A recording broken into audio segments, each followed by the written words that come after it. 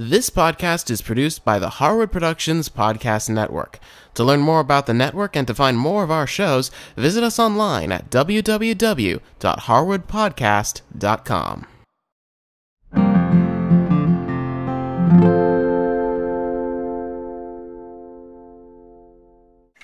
Hi, I'm Cindy Harris. Welcome to Easy Entertaining. Ever thought about having a wine and cheese party? Well, I had my first one a few years ago and it was a big hit. Let me show you an easy way to put one together. My first strategy was to try to find things that I could get at just about any grocery store.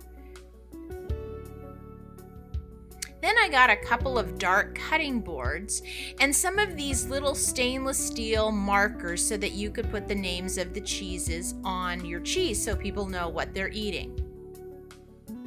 And then the other thing you have to find are some cheese knives. Many times you can buy them in a set. Now that we've got the gear ready, let's get the things we're going to put our cheeses on together. I like to slice up some baguette. Soft cheeses taste great on that. And then get a cracker assortment. Some wheat crackers, definitely some water crackers. Cheeses taste great on those. Let me show you how I put mine together. Start with your two cutting boards and put them end to end. Then I like to get a little height in the middle of the board, so I take just a drinking glass and I get some nice thin breadsticks and I put those right in the middle. So let me show you some of the cheeses I like to use. This first one is called Cotswold, and it is an oranges cheese that has chives and onion in it. It's really, really good. So then I just take my marker and I write Cotswold on the little stainless steel marker and I put it right in the block of cheese.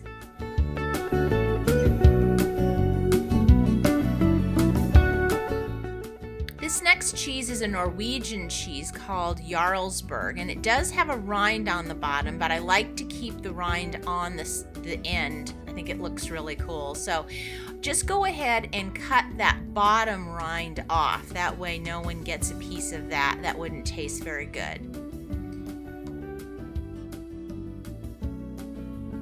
And then just make a marker for it and put it right on your board.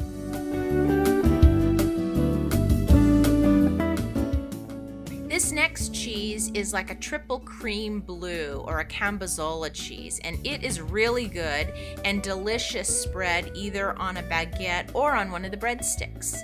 My next cheese is a smoked Gouda. Now, it also has a rind, but it's the kind of rind that you can eat, and many people identify this cheese by its rind. And the last cheese I'm going to use on this board is a brie. It's very delicious, wonderful spread on any of the crackers, breadsticks, or baguette. So now let's start filling in the spaces. I like to start with the baguette and I like to put um, these things in like three different areas on the board. And you'll notice I don't keep things right on the board. I let them spill over. I think that looks really kind of nice.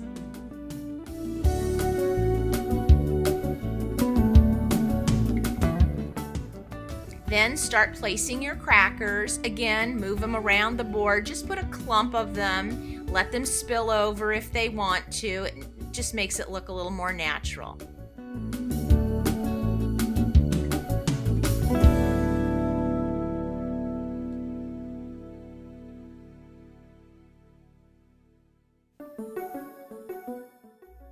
I like to put some grapes on the board.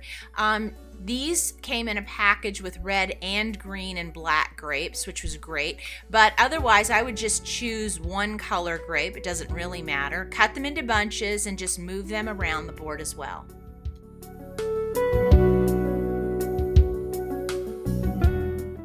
So things are looking pretty balanced on the board. So now I'm going to add some dried fruits. So the first one I'm going to add is some handfuls of some dried apricots.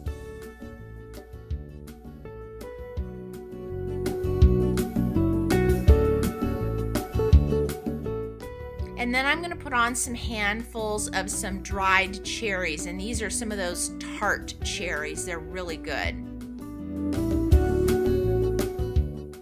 And then the last thing I'm going to add are some cashews.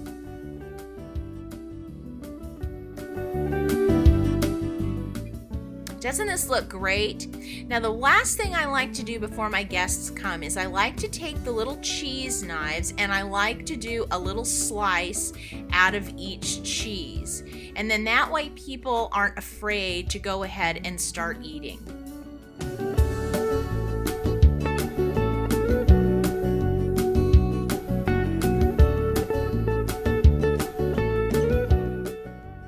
For this cheese board, I chose five cheeses.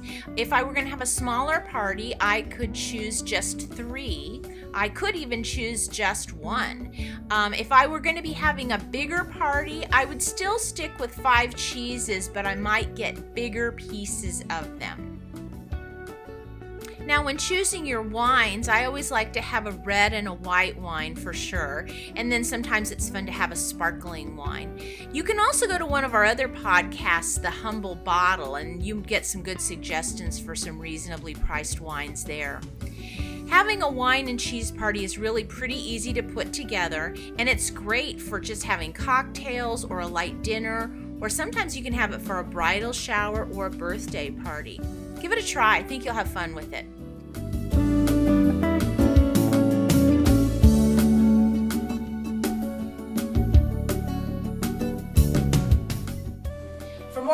Information on this episode, go to our website and visit the Easy Entertaining show notes. Also, if you have any questions or ideas for us, send us an email. Thanks for watching. We'll see you next time.